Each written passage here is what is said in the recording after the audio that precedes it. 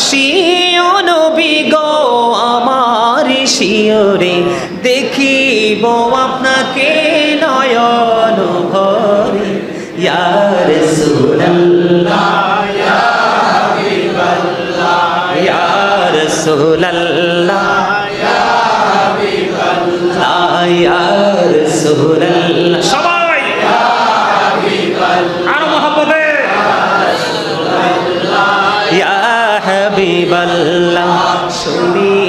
হাদিসে দেখিলে আপনাকে জীবনের গোনা ঝরিয়া পড়ে। দিও গো দেখা দয়া করে। ইয়া রাসূলুল্লাহ, ইয়া হাবিবাল্লাহ, ইয়া রাসূলুল্লাহ ইয়া রাসূলুল্লাহ।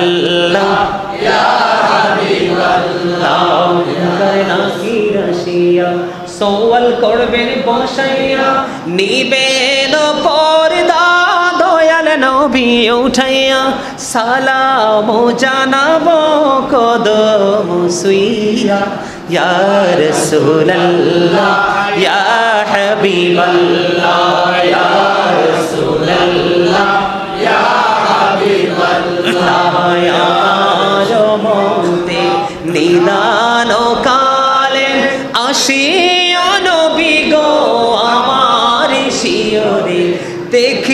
দেখিব আপনাকে নয়ন ভরে।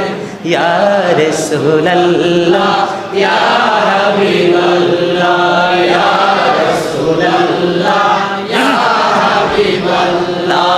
গোসল করাইয়া, কাফন পরাইয়া, যখনই রাখিবে কবর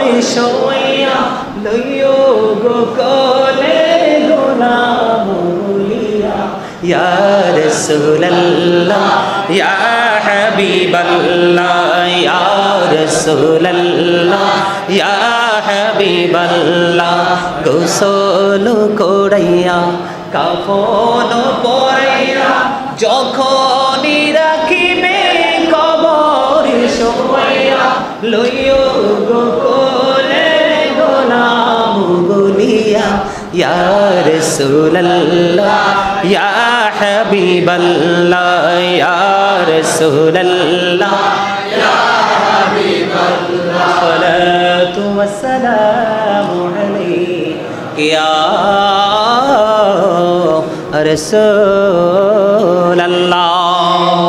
জোরে জোরে বলেন, আলহামদুলিল্লাহ। রাসূলের কদমে সালাতু সালাম পৌঁছাইতে পেরে খুশি নেবে স্যার আরও জোরে? এটাই মিলাদ। আমরা খুশি হয়েছি একত্রিত হয়েছি রাসূলের শান শুনেছি মান শুনেছি রাসূলের আগমনের বার্তা শুনেছি এটাই মিলাদ এই জায়গাটাকে যে মানতে পারে না বোঝা যায় না যে রাসূলের শত্রু সে নবীজির শত্রু সে।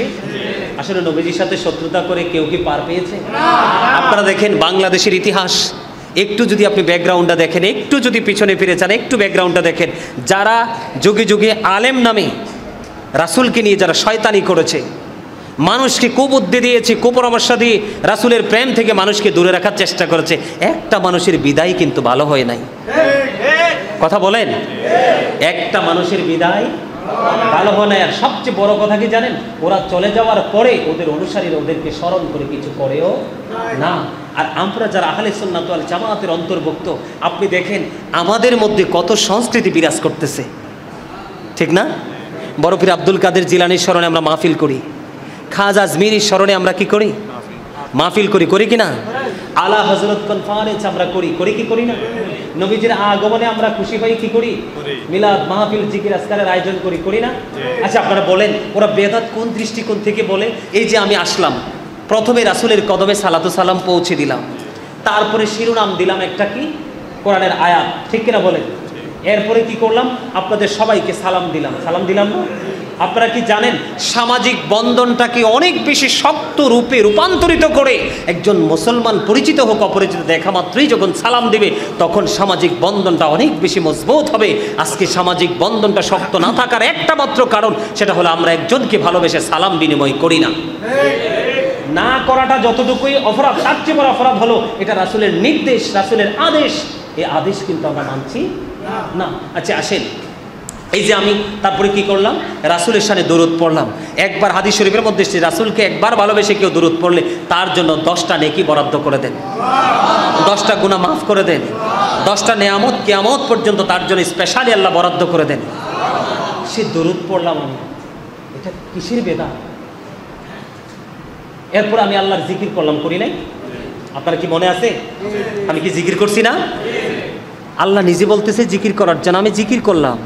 এটা বেদাতের গন্ধ কোথায়? কথা বলেন আপনারা কি সাধারণভাবে বুঝতেছেন আমার কথাগুলো? এখানে বেদাত বলে মানুষকে আমল থেকে দূরে থাকা, মানুষকে দূরে রাখা, তাদের একটা শোনেন আপনাদেরকে বলি আজকে একটা তথ্য দেই?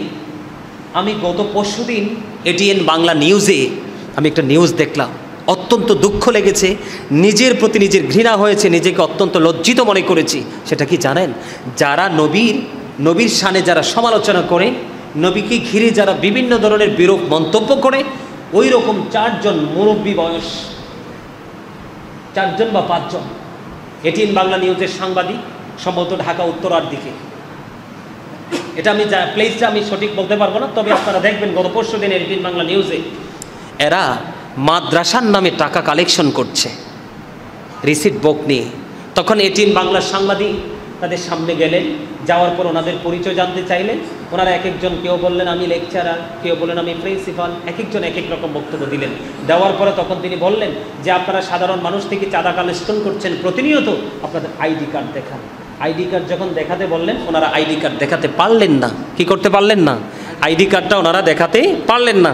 তখন সাংবাদিক সাহেব তিনি বললেন, আপনারা এখানে স্টে করেন, আপনারা এখান থেকে অন্যত্র যাবেন না, আমি কিন্তু পুলিশ ফোন করছি। পরে সর্বশেষে আমি পুরো নিউজটা দেখলাম। তারা পরে সর্বশেষেই সাংবাদিকের কাছে পাঁচজন মানুষ হান্ড্রেড পার্সেন্ট পরাস্ত হয়েছে। তারা কেউ তাদের প্রমাণটা, সত্য মানে তথ্যটা তারা দিতে পারেনি। ওই সমস্ত কাজগুলো তারা করে বেড়ায়। না আছে তাদের চরিত্র। আমি বলব you are characterless hundred percent দেখে বলেন? যাদের নীতি নাই, নৈতিকতা নেই, তারা রাসুল সামনে মন্তব্য করে অত্যন্ত লজ্জাজনক ব্যাপার। মাদ্রাসার ঠিকানাও দিতে পারেনি।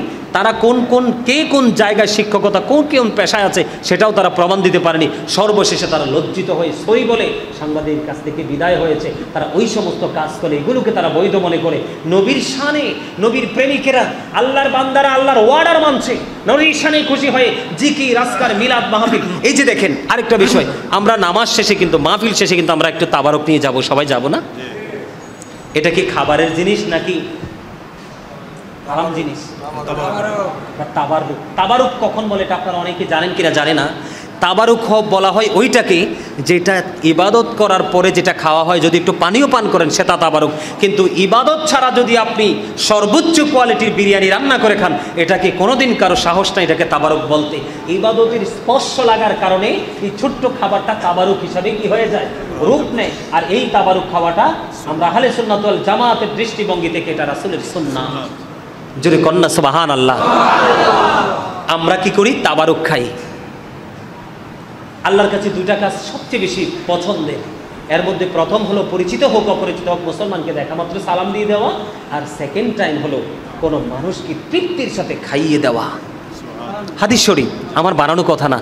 তাইলে আমরা এত চমৎকার একটা জলসা সাজালাম, জিকির আজকার করলাম, মিলাদ মাহবিল করলাম, সবার যাওয়ার সাথে আমরা একটু তাবারক নিয়ে রাসুল প্রেমে নিয়ে গেলাম। এটা কি আপনারা কি আপনাদের দৃষ্টিভঙ্গি থেকে তাদের বক্তব্যটাকে রাইট না রং বলেন তো? আপনারা তো সাধারণ মানুষ আপনারা কোরআন হাদিসের গান সম্পর্কে অতটা অ্যাক্টিভ না। আমরা তো জেনে বুঝে বলছি, আপনারা তো বোঝেন না। তারপর আপনাদের সরল মনে কি বলা হয়? এটাকে নাজাইজ বলার কোনো সুযোগ আছে? বেদাত বলে এটা কি ছোট করার কোনো সুযোগ আছে? আসমানের ফেরেস তারা কোথায় চলে এসেছে? জমিনের এত কাছে, মনে হয় যেন জমিনের উপর এসে পড়বে তারকাগুলি। নবীর আগমনে খুশি হয়ে।